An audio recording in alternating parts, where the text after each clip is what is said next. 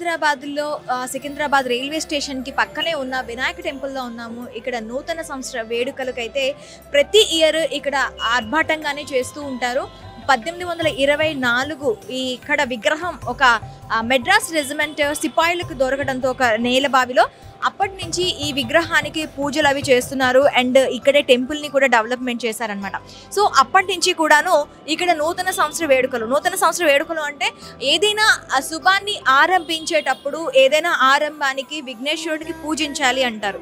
So ప్రతి ఒక్కరూ కూడాను ఈ విఘ్నేశ్వరుని పూజించుకొని నూతన సంవత్సర వేడుకలని నూతన ఆశలతో కొత్త ఆశయాలతో కొత్త కొత్త ఆశలతో ఇక్కడ నూతన సంవత్సర వేడుక నూతన సంవత్సరాన్ని ప్రారంభించడానికి అంటూ వస్తూ ఉంటారు.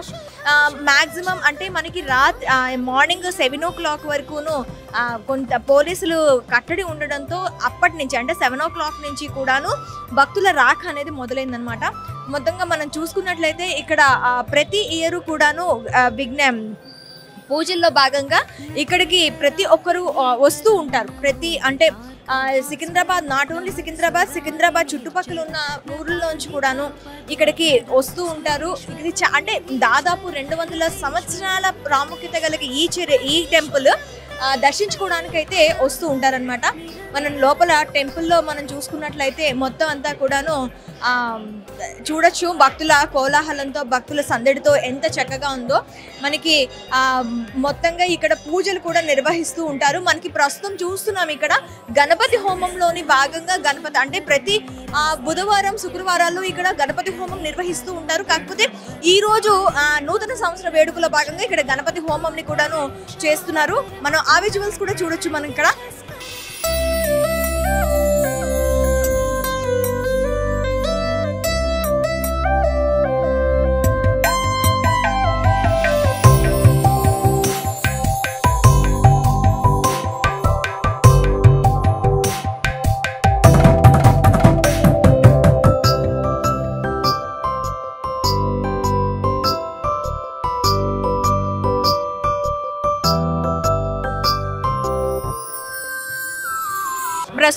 గణపతి హోమం విజువల్స్ చూస్తున్నాము. ఇక్కడ నిత్యం హోమాలు అయితే జరుగుతుంటాయి. ముఖ్యంగా బుధవారం శుక్రవారం అయితే ఈ విఘ్నేశ్వరుడికి హోమాలు అనేవి జరుగుతూ ఉంటాయి.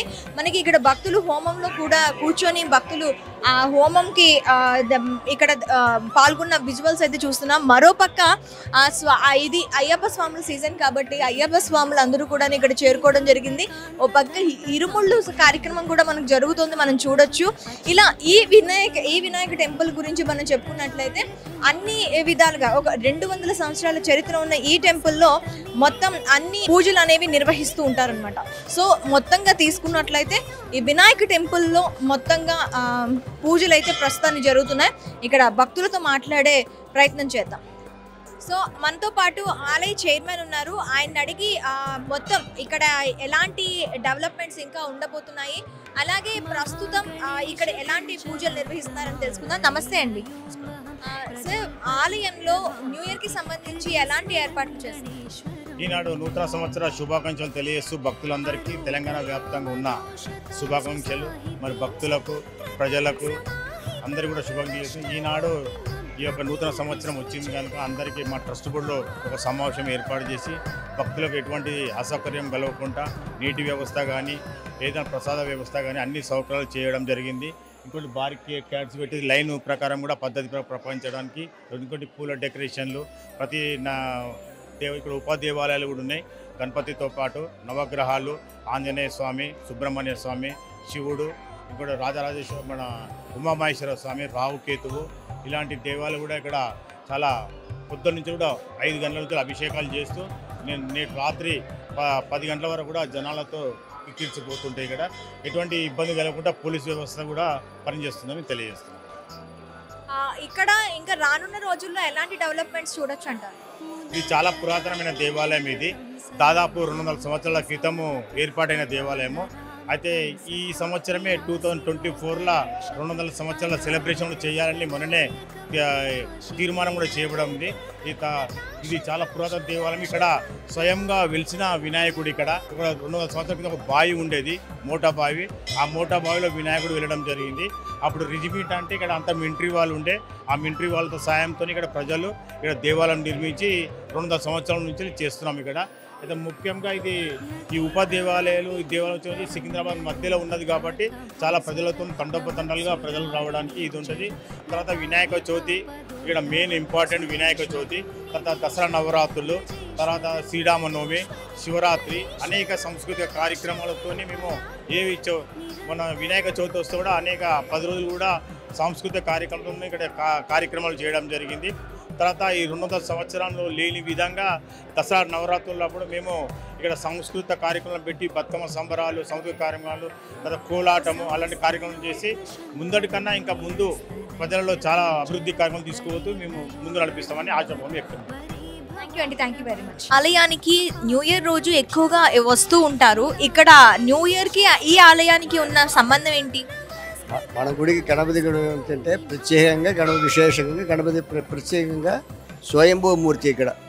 స్వయంభూ మూర్తి కాబట్టి ఇక్కడ ప్రత్యేకంగా ఎక్కువ చాలా మంది మట్టు వస్తారన్నమాట ఇక్కడ. ఎన్ని సంవత్సరాలు అవుతుందండి ఇక్కడ ఈ టెంపుల్ ఏర్పాటై? రెండు రెండు వందల ముప్పై సంవత్సరాల పైన అవుతుందన్నమాట రెండు వందల సంవత్సరం ముప్పై పైన సంవత్సరం అవుతుందన్నమాట. చాలా ఓల్డ్ గుడి మాట గణపతికి ప్రత్యేకంగా ప్రతి సంకట చవితికి అభిషేకం చేస్తారు. విశేషంగా పొద్దున చేస్తారు సాయంత్రం చేస్తారు. అదేవిధంగా సాయంత్రం పూట విశేషంగా అష్టోత్తర కలశాభిషేకం చేస్తారన్నమాట. ఇప్పుడు ఇవాళ కూడా అష్టోత్తర కలశాభిషేకం జరిగింది. ప్రతి ఇయర్కు న్యూ ఇయర్కు అష్టోత్తర కలశాభిషేకం చేస్తారు. అదేవిధంగా సుబ్రహ్మ స్వామి గుడి ఉంటుంది ఇక్కడ దేవాలయం. సుబ్రహ్మ స్వామి గుడి ప్రత్యేకంగా. ప్రతి మంగళవారం ఇక్కడ కళ్యాణం చేస్తారు. అభిషేకం కళ్యాణం విశేషంగా జరుగుతుంది. పెళ్ళి కాలేని వాళ్ళు పెళ్ళిళ్ళు లేని వాళ్ళు ఇబ్బంది ఉన్నవాళ్ళు ఇదన్నీ వాళ్ళందరూ సుబ్రహ్మణ్య స్వామి మన సక్సెస్ ఇస్తారన్నమాట కాలి కార్యసిద్ధి ఇస్తారన్నమాట. అదేవిధంగా సోమవారం నాడు శివుడికి అభిషేకం ప్రత్యేకంగా సాయంత్రం పూట కళ్యాణం జరుగుతుంది. మాస శివరాత్రి కళ్యాణం జరుగుతుంది ప్రతి సోమవారం జరుగుతుందా? ప్రతి ప్రతి సోమవారం శివుడికి కళ్యాణం జరుగుతుంది. ప్రతి మంగళవారం సుబ్రహ్మణ్య స్వామి జరుగుతుంది. ఇక్కడ విశేషంగా కాళసర్ప పూజ చేస్తారన్నమాట. శనివారం మంగళవారం. ప్రతి శనివారం ప్రతి మంగళవారం కాళసర్ప పూజ చేస్తారు. అది విశేషం అన్నమాట ఇక్కడ ఈ గుడిలో. ఇక్కడికి ఈ న్యూ ఇయర్కి సంబంధించి ప్రతి సంవత్సరం లాగానే ఈ సంవత్సరం కూడా వచ్చారా? లేకపోతే ఇంకా ఎక్కువ మంది వచ్చారని చెప్పచ్చా ప్రతి సంవత్సరం వచ్చినట్టే ఈ- ఈసారి కూడా వచ్చారన్నమాట. ఇంకా ఇంకా సాయంత్రం పూట ఎక్కువ వస్తారన్నమాట. మార్నింగ్ కొంచెం మార్నింగ్ మార్నింగ్ కొంచెం తక్కువ ఉంటారు. ఈవినింగ్ చాలా మంది వస్తారు. థ్యాంక్ యూ అండి thank you very much. Celebrate చేసుకోవడానికి ఒక కంపెనీ నుంచి మొత్తం ఎంప్లాయీస్ అందరూ రావడం జరిగింది. Hello sir. you belong to uh, same, um, one company? Also? Yes, same company. We belong to same company from pharmaceutical sectors. Okay. Uh, every year you come for this? Yes, every year we come for this. This is a tradition for more than 10 years now. Rajendra is a senior most colleague from our company. Okay. So I think it's more than 10 years Rajendra now. 20 years. 20 years we have been doing. Every 1st January we will not take leave but we will keep it as a working day. Uh, we'll come to the temple, any one of the temple and then from there we'll go to field work. Um, how do you feel uh, when uh, darshan and all? How do you feel uh, after darshan and all? See, coming to temple is one of the pious thing. That is one thing. It's uh, spiritually enlightening and also it gives a very positive vibration. So temple was always a place for getting more vibration, positive vibrations. So that is our culture. So obviously this will set the tone for the next year coming years. Why you choose this uh, temple? Uh, every year we select it, but uh, there are certain sentiments attached to this particular temple.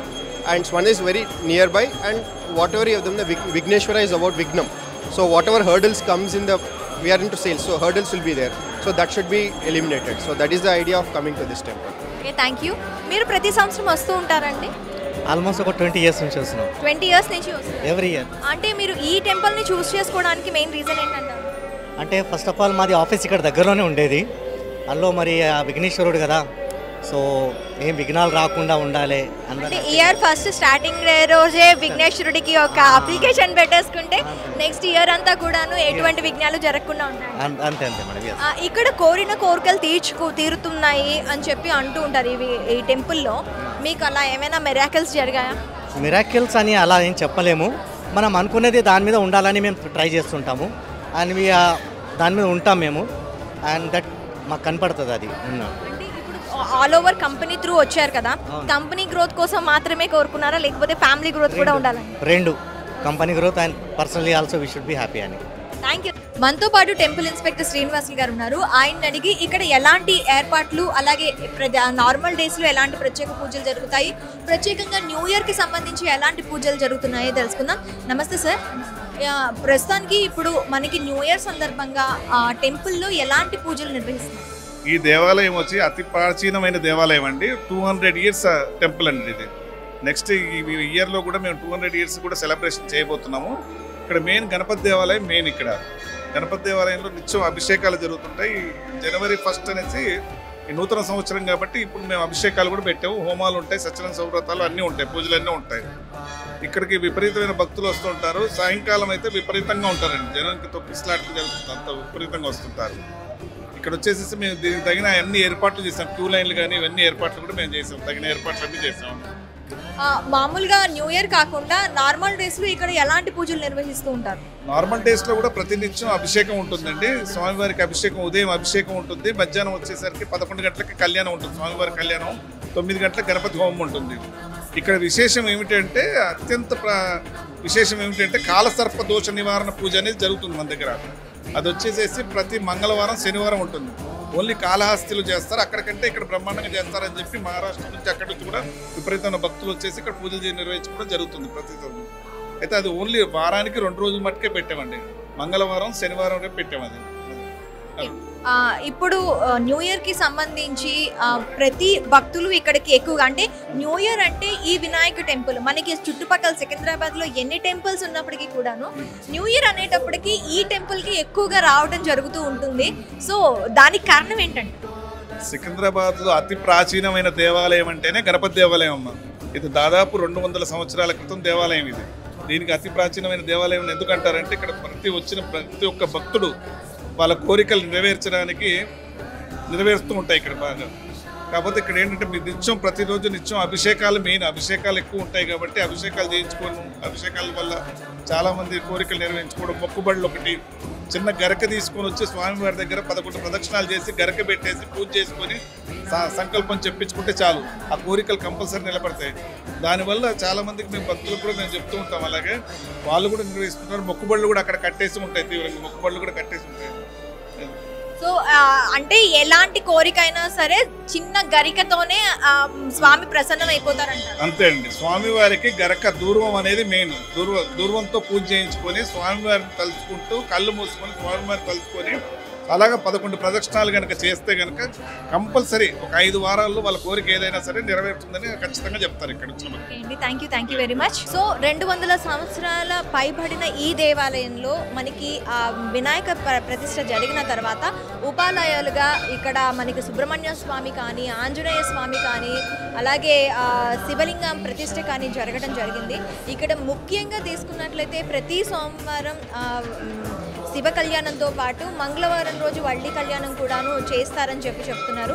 ముఖ్యంగా ఇక్కడ శాంతి నివారణ హోమాలు కానీ సుబ్రహ్మణ్య స్వామికి చేసే చాలా హోమాలలో కూడాను ఇక్కడ మనకి చేస్తారని చెప్తున్నారు అనమాట మొత్తంగా తీసుకున్నట్లయితే మొత్తం రెండు వందల ఏళ్ళు పైబడిన ఈ టెంపుల్కి జనం ప్రతి ఇయర్ ఇలానే వస్తూ ఉంటారు అని చెప్తున్నారు.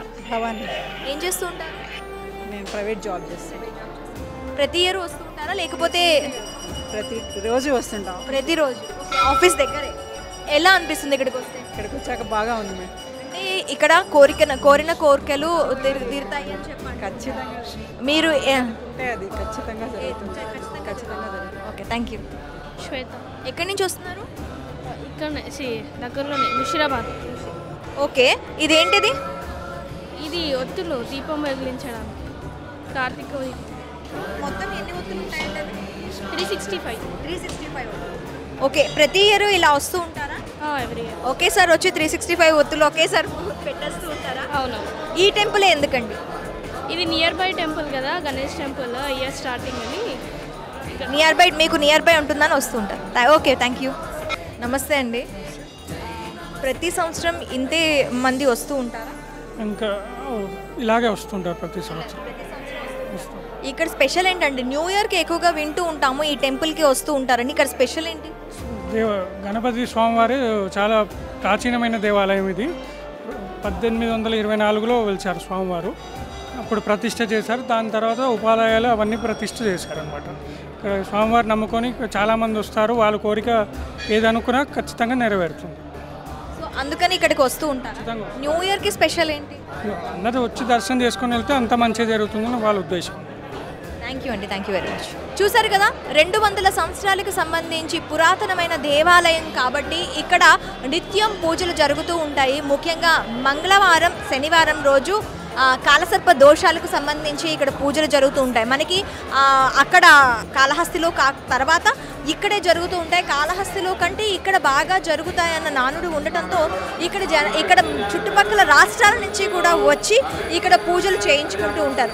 ముఖ్యంగా మనకి ఈ దేవాలయంకి సంబంధించి గణపతి నవరాత్రులు కానీ దేవి నవరాత్రులు కానీ ఇంకా ప్రత్యేక దినాలలో ప్రత్యేక పూజలన్నీ నిర్వహిస్తూ ఉంటారు.